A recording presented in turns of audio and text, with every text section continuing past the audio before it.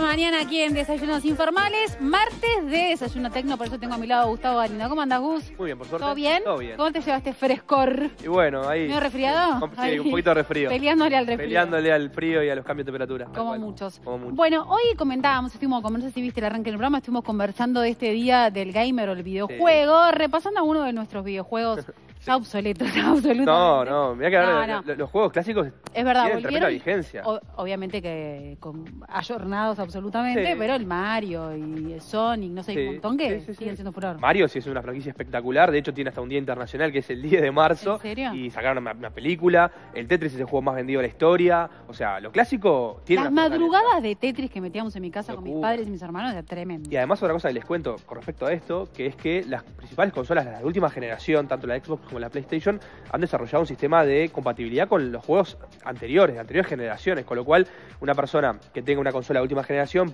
puede acceder, eh, a- a- o sea, pagando obviamente una suscripción, ¿A jugar al- a, al- jugar a los juegos de hace, original? claro, Ah, sí, mirá a juegos de bueno. versiones originales de, de- de, ya te digo, de generaciones, dos o tres generaciones anteriores, con lo cual eh, el tema del gamer, el tema del videojuego, evidentemente habla de una cultura que está cada vez más fuerte y cada vez más desarrollada y que por eso también genera este Día Internacional. ¿Se tiene idea o noción aproximada de cuánta gente juega videojuegos? Sí, bueno, más o menos estos son datos que, que se cruzan un poco entre, entre lo que tienen eh, las empresas como, como jugadores que tanto adquieren la consola o, o que tienen una, una descarga del juego en vía digital o en vía física. Sí. Es importante que entiendan que los videojuegos, la verdad que están canalizados por un montón de vías distintas, eh, se pueden jugar de muchas maneras, incluso el teléfono es uno de, los, de las principales vías para hoy por hoy jugar. Eh, la mayoría de los juegos se concentran en los teléfonos móviles, algo que mucha gente no, no piensa, pero es así. Entonces cuando hablamos de, de cuánta gente juega, bueno, más o menos se estiman que hay 3.000 millones de personas en el mundo Wow. que son consideradas gamers.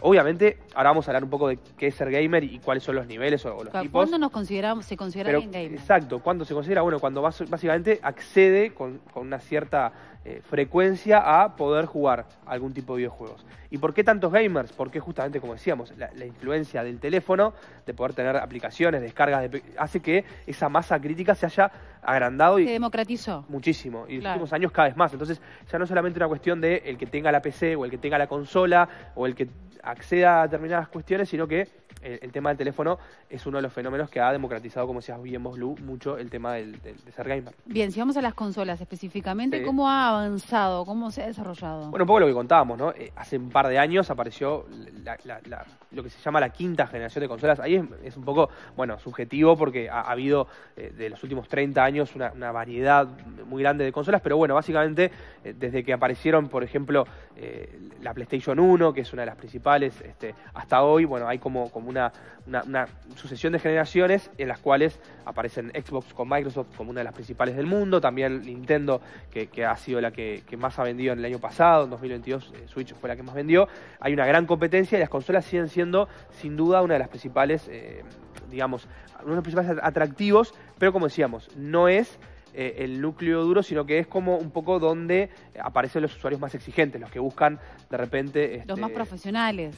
¿O en no? algunos casos sí, pero también la PC tiene mu- mucho componente de profesionalismo, bien. porque la PC muchas veces lo que te permite también es a nivel competitivo poder jugar eh, en, en entornos donde eh, los, lo- digamos, las, las especificaciones técnicas también son mejores, las tarjetas de video per- perfeccionadas, o sea, Para ahí estamos hablando de más personajes que de un Sí. tiempo a esta parte se volvieron estrellas, porque no solo que juegan, sino que se graban jugando y lo suben a las diferentes Sí. plataformas sí. y los chicos ven cómo ellos juegan. Y ahí viene el fenómeno, ¿no? O sea, como que el gamer tradicional es el, el gamer como fuimos nosotros, que ustedes contaban al principio, el que yo jugaba en mi casa con, con- con la gente del barrio, con los amigos, con, con, la con los familiares.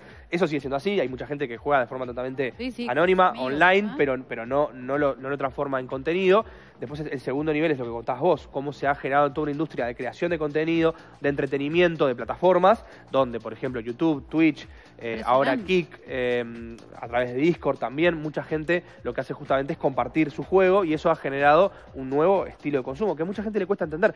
¿Cómo es esto de que yo voy a estar viendo un video o un streaming en vivo de alguien que está jugando un videojuego? Bueno, Yo lo veo a Pipe jugando y viendo en la computadora como otro... eh, sí, sí, muchas veces a través de los tutoriales ayuda mucho porque Claro, para los chicos sobre todo... cómo hacer las cosas. Claro, Minecraft es el ejemplo más importante de esto, o sea, cómo construir, cómo generar, cómo hacer determinadas cuestiones, lo ven en YouTube, y lo replican ellos y después a su vez también comparten su experiencia. Tremendo. Eso también es un fenómeno que ya lleva una década, pero que cada vez está más fuerte. Sí, Gus, si vamos a números, ¿qué ingresos eh, mueve esta industria? Bueno, ahí también es importante aclarar que, que esto es muy variado, porque decíamos, bueno, ingresos por qué? Por venta de, de videojuegos, por... Bueno, es una industria que está se está como desarrollando mucho, claro. Exacto, hacia, hacia, todo esto, ¿no? Hacia el contenido, hacia las plataformas. Bueno, se estima más o menos que la industria ya está llegando a, bueno, más de 350 mil millones de dólares por año de bueno, movimiento de facturación, de, generación. Hablamos de cientos de miles de empresas, hablamos de cientos de miles de eh, jugadores, o mejor dicho, millones de jugadores en el mundo.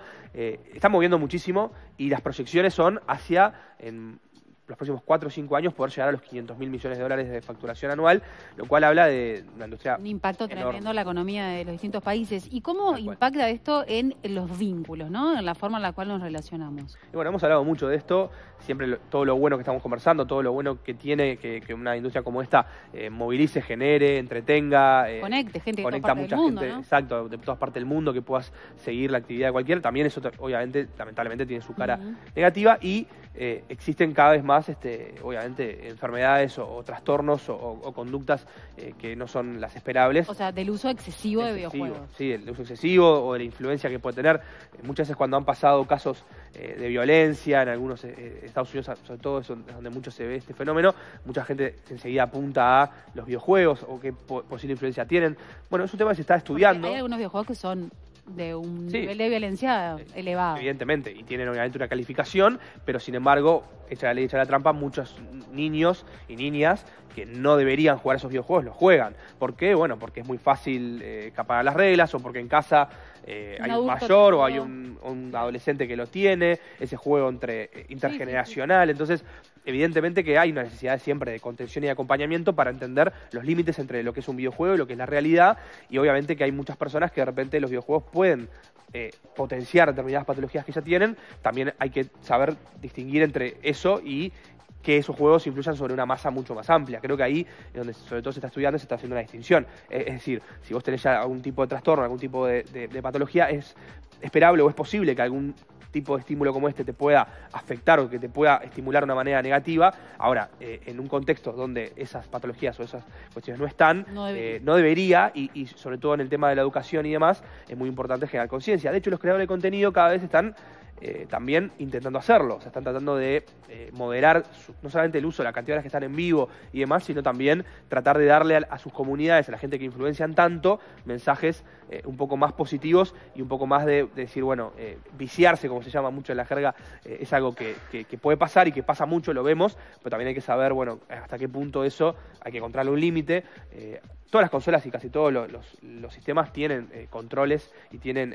sobre todo, lo que son las, las reglas de, uso de tiempo, mucha gente sé que las aplica y, la verdad que se recomienda. Cuando vos le dejas la consola a un, a un chiquilín o a una chiquilina, está bueno que le pongas determinados este, filtros de tiempo y de moderación para que justamente eh, no se genere un uso excesivo que muchas veces puede terminar este, en, cosas menores que pueden ser que duerman mal, que le genere mal humor, que le genere una dependencia, ¿no? O sea, cosas que de repente no parecen ser tan graves, pero que en la acumulación sí pueden tener un efecto negativo con lo cual, este, siempre es bueno eh, encontrar esos controles y tratar de aplicarlos en, el uso. Sí, como padres hacernos amigos ¿no? de esta tecnología, es intentar entenderlo, comprenderlo, compartirlo, pues si te pones de, contra es muy complicado. Yo creo que por hoy cada vez más las generaciones se empiezan a encontrar y, es, más difícil encontrar que, se estén, que, padres e hijos estén tan distanciados, porque muchas veces ya los padres de, del hoy fuimos ya muy influenciados por, lo, por, el, por los videojuegos. Entonces, eso, esa brecha se, que se ha ido acortando, pero igual es verdad que hay que aplicar. Hay que mediar. Y hay que mediar, tal cual. Eh, las horas y la cantidad y demás.